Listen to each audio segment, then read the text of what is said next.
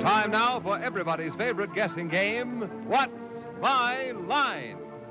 Brought to you by new Stopette, America's leading spray deodorant. The lotion spray deodorant created by Dr. Jules Montenier, world famous cosmetic chemist. Now let's all play What's My Line?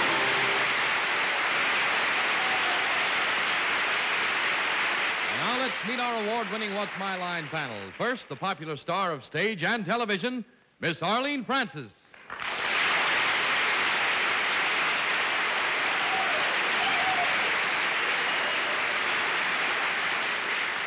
And tonight, about to come in, substituting for Desi Arnaz, a man whose wit has not lost its sharp edge in all the years he's been entertaining, Mr. Fred Allen.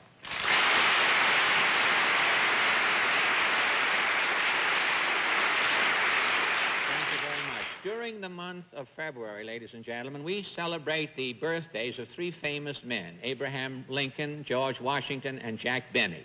Now, today, Lincoln has his head on the penny, Washington has his head on the $1 bill, and Jack Benny has his hands on all of the rest of the money. and here is a young lady who has mentioned Jack Benny's name many times in a syndicated column, Miss Dorothy Kilgallen.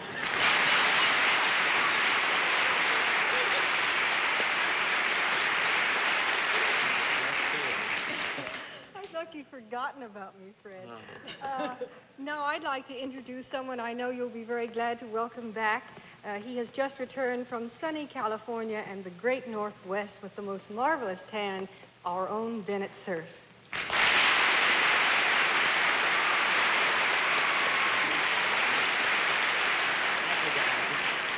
I, I didn't realize how smart you all were until I watched you in California last week.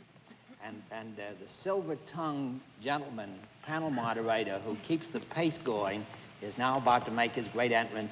Itty bitty witty John Charles Daly.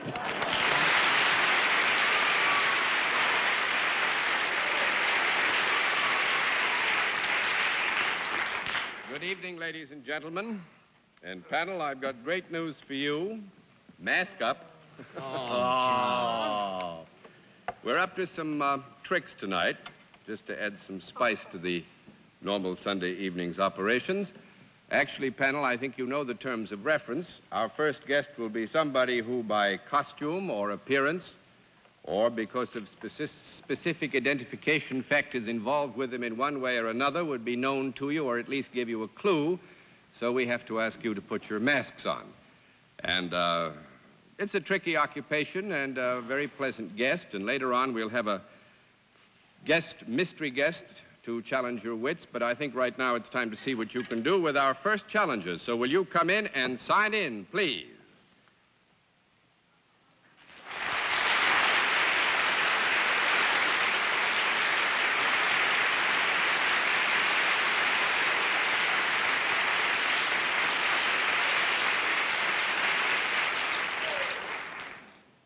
All right, sir. I would ask you, as our guest, first of all, if you are aware of the scoring system on this program. Yes, sir. You do know what it is. All right, fine. If you know what our scoring system is, I will then uh, let the folks at home and the friends that we have here in the theater know exactly what your line is.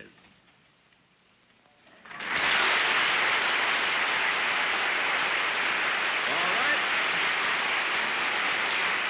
Now, panel, I will tell you only that our guest is self-employed, and we'll begin the general questioning with Fred Allen. Well, John, you said that we're uh, masked because we would know this person's name or would know the person by sight. Is that true? No, actually, Fred, what I said is that there is an area of identification which might be available to you if you were unmasked, and we just didn't feel we ought to take a chance on it. Well, uh, can I speak to the person now? Yes, certainly. If you don't mind, John. Not a bit, Fred. Uh, do you have anything to do uh, with the entertainment business? Yes? That's a, a man, am I right? Yes, that's right. I'm going like a house of fire, a wet house of fire, John. do you, uh, you do have something to do with the entertainment business. There is a relationship, Fred. We wouldn't want to mislead you, but we would have to agree that there, can, there could be, and there probably is, a relationship between our guest and the entertainment business. Well, uh, is our guest uh, is our guest ever seen on the television screen? Is his face ever seen on the television screen? Yes. Well, I assume with all of this red tape, then, that you are not a, a performer or an actor, per se. No. That's, You're not. Uh, yes, he is not a performer or actor, no. Uh, and you ask, well, are you uh, are you in the political field? No. One down and nine to go, Miss Kilgallen.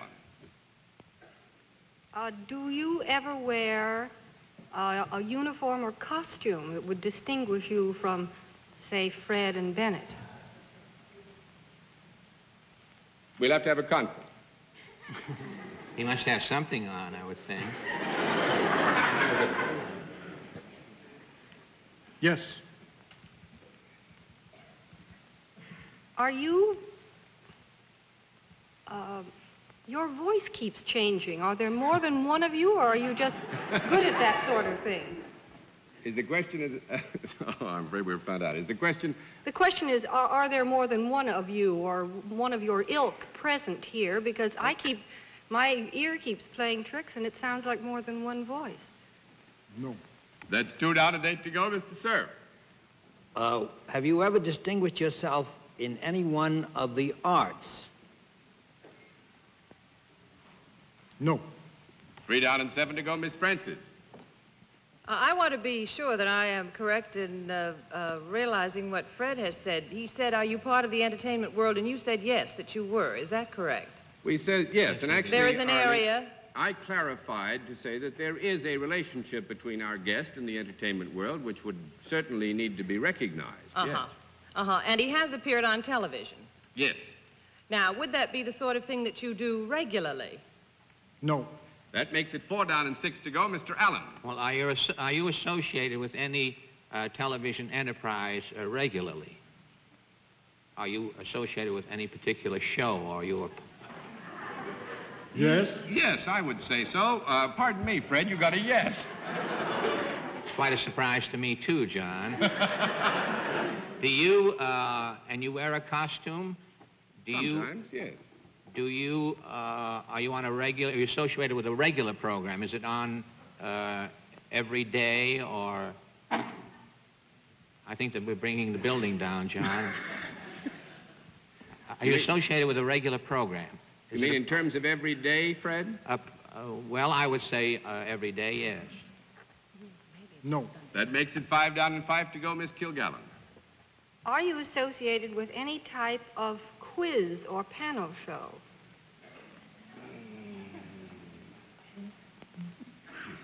Yes. Uh, are you a famous contestant on a quiz show? No. That's six down and four to go, Mr. Sir. Have you got anything whatever to do with this particular panel show, What's My Line? We'll have to have a conference on that. I mean, I don't mean just now. Of course, he's, he's appearing on this show. You mean, is there any possible relationship between this show and our guest? Yes, Well, let not, me, I'll not, have to ask not counting, not counting this particular moment.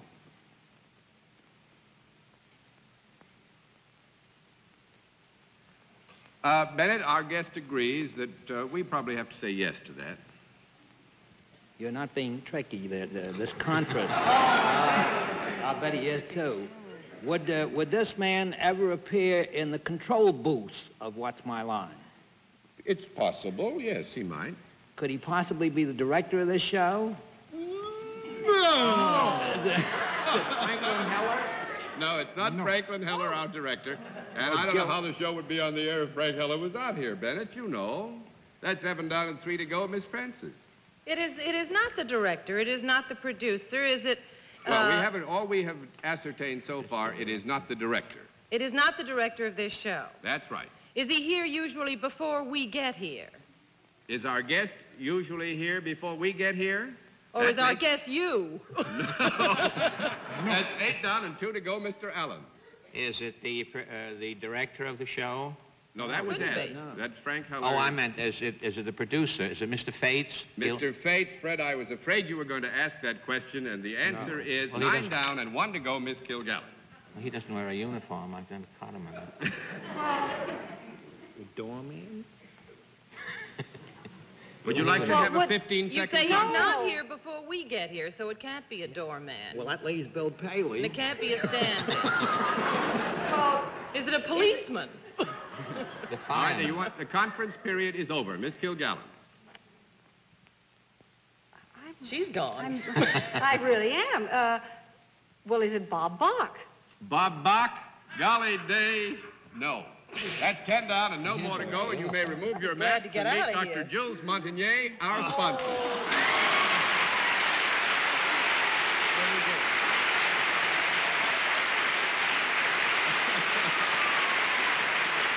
Doctor, I must say I thought Bennett had us on the ropes there for a while, and I trust, Bennett, that our conference threw you off a bit anyway, if you were on the right line. I wasn't poofing properly.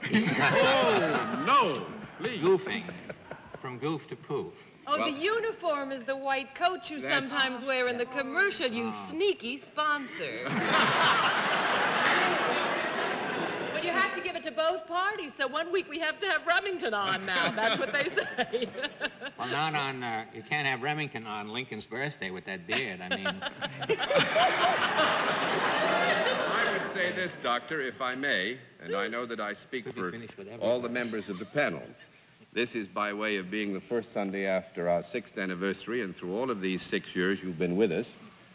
And I think if there's anything in this game that we who are a part of it, in terms of appearing before cameras like, it's sponsors who don't interfere with programs. And I would say very quickly and very quietly that Dr. Montenier has never interfered with this program, and we're very fond of it.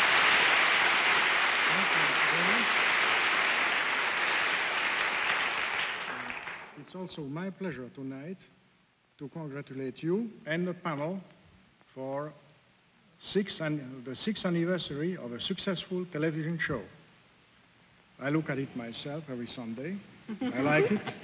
Will you renew, Dr. Montenier? like everybody else. and I look at it not because I'm the sponsor, because I like the show. Well, Thank thank, you. you. very much. Okay. That's very nice. And now, sir, you have been very generous, and I would like to say that it, uh, it's about time for me to say, and now a word from our sponsor. Time for the experts to meet our next contestant, so will you come in and sign in, please? No, no blindfolds. Just sign in right there, sir. John.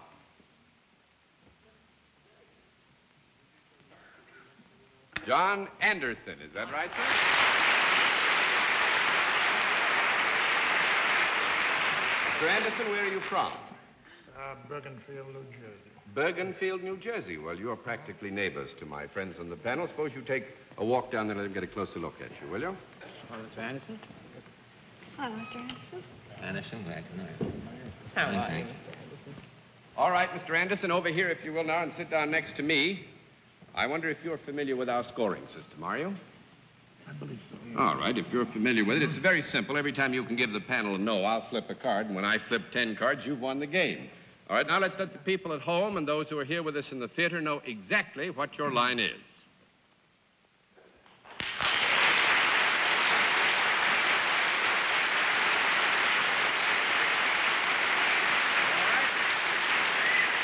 Panel, Mr. Anderson is salaried. Let's begin the general questioning with Arlene Francis. Uh, do you uh, deal in services, Mr. Anderson? Yes, Are they available to both men and women? yes. Uh, you have the air about you of a professional man. Do you have formal training for your job? Yes. Now, this is formal training, yes, not necessarily within the accepted terms of reference of graduate degrees, etc. Yes, all right. Um, would you be considered a professional man then? Yes. Do you have any title, Yes. like king or something? And I want you to meet the King of Mon- Monaco. No, no, no, I don't want you to meet the King. Do you work in an office? Uh, yes. In a manner you- of speaking, yes. Do you ever work in a um, laboratory? No. That's one down and nine to go, Mr. Allen. Do people come to you for these services Yes. in your office? You never Well, go? now, I, Fred, uh, before we get misled by the office, uh, our guest has office, yes. Uh, He in a doesn't manner go in of it? speaking, and you can take it from there. But you mean he doesn't go in his office? or he only lets people in when he's not in the office? Is it a, a new profession? is, that is the way he sees it. Well, do you uh, do you work for a profit-making organization? Yes. You do. Do you uh, touch these people at all? Do you improve? Do you, do you put your hands on them in any way when they come to you? No. That's two down and eight to go, Miss Kilgallen. Well, I'm curious about your title, Mr. Anderson. Uh, is it something other than a title of royalty or nobility? Yes. Is it something other than judge? No.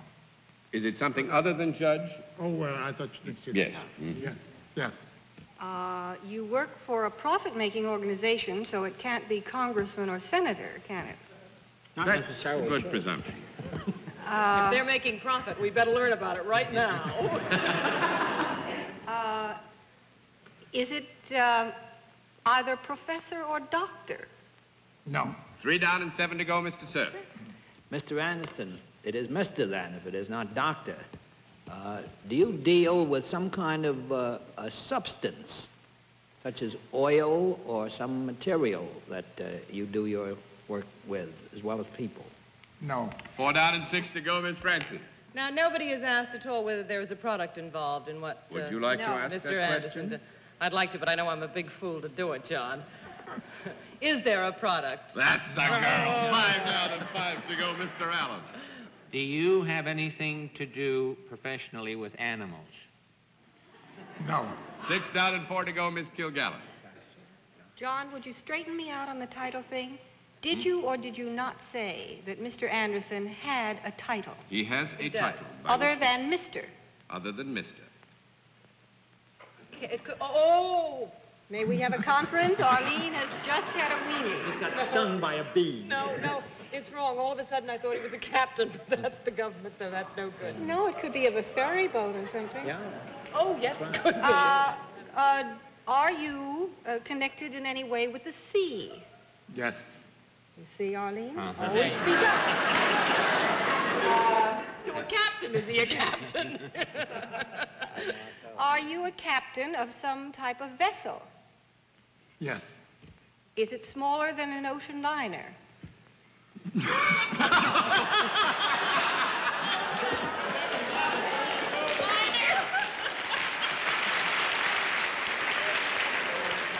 Narrows the field. If it's not smaller than an ocean liner and it, and it is not a government battleship, it must be, per se, an ocean liner. That's Correct? right. And uh, is, it, is it a ship that flies under the American flag? Yes. Is it the United Yeah. States? It Say yes! sail. And Bennett, it is indeed a ship that flies under the American it flag, and when you see the United States take off in the Hudson River, it's glorious. That big ship goes right straight up in the air. Actually, Captain Anderson is a Commodore of the United States lines, but technically he is the captain also of the United States, right, sir? Which is, is quite a, a ship, by golly. I must say, uh, I had the privilege once of touring her, and it's the first time in a good many years, if I may say so as a layman, sir, that I feel we have a flagship for our commercial fleet that'll stand up against anything that the other countries put on the water.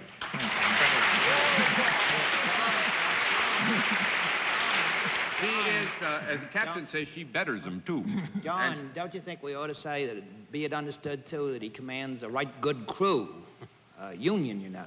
Yes, a right good crew. And uh, one further statistic, because I think all of us as Americans would be interested in it. This is the fastest ocean liner in the world, isn't it, Captain? That is correct. There you are. See? We got the fastest one in the world. Thank you very much, Commodore. It was wonderful having you with us. You got the right time. All right, now we come to the special feature of our show, the appearance of our mystery celebrity. I must ask the panel to put their masks on with dispatch, since time is running out very rapidly. I haven't any I will get the distract with me. scoreboard back to the beginning. As you know, in this particular part of the program, we go to a different form of questioning. My friends on the panel ask one question at a time in turn, moving clockwise. And the masks are all in place, are they, panel? Yes, Mr. Deputy. Good. Will you come in, Mystery Challenger, and sign in, please?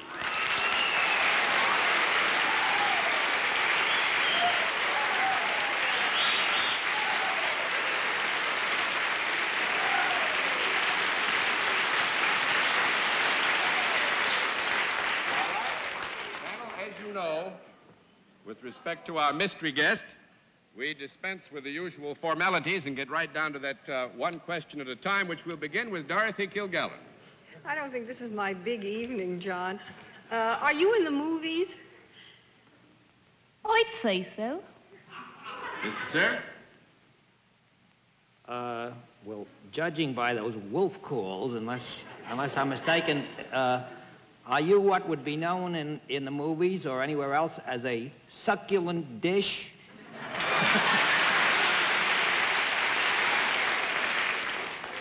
I suppose to a certain point. I, I didn't hear that. I suppose to a certain point was the answer. Miss Francis? Well, uh, have you been in the theater? Yes. Swell. Are you in a Are you in a motion picture that's currently playing uh, on Broadway? Not currently right now, no. That's one down and nine to go. Miss Kilgallen. Have you been in the motion pictures more than you've been on the stage? Legitimate, that is. Have you been in motion pictures more than you've been on the stage, the legitimate stage? In number, yes. Hmm? What? In number, yes.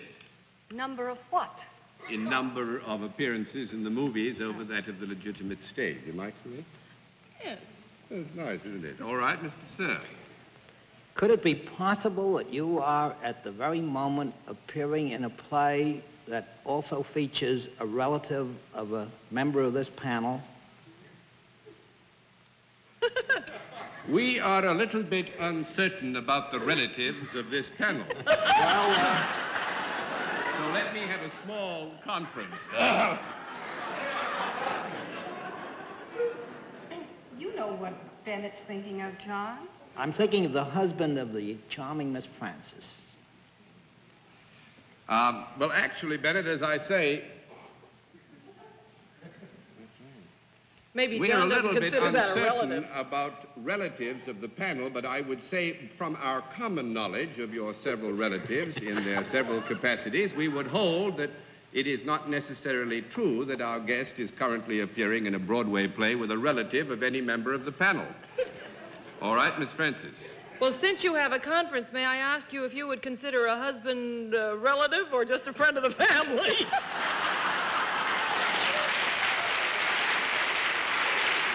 I would say that it would only be fair for me to remark at this time that holding to the particularities of identification, we would not feel, the guest and I, that you could properly identify a husband as a relative. You couldn't? No. Relatives Oh, have some John. blood designation which well, this is them a kind of a blood designation husband. Ah. Well, you're uh, avoiding the issue, John. Is it Miss Mansfield?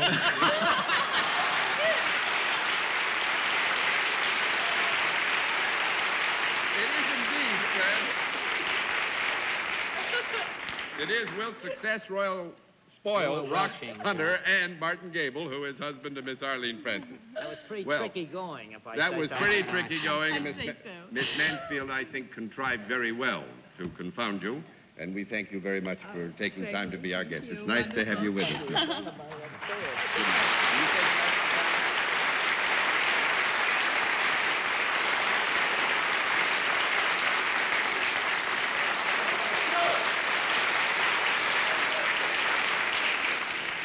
And perhaps you will all now begin to understand why it is I'm so devoted to my work. And now, until next week, this is John Daly saying good night, Miss Arlene. Good night, John. Is the technical word for relative really, it does mean a blood relation, doesn't it? Actually, that's my understanding of I it. just want to be sure.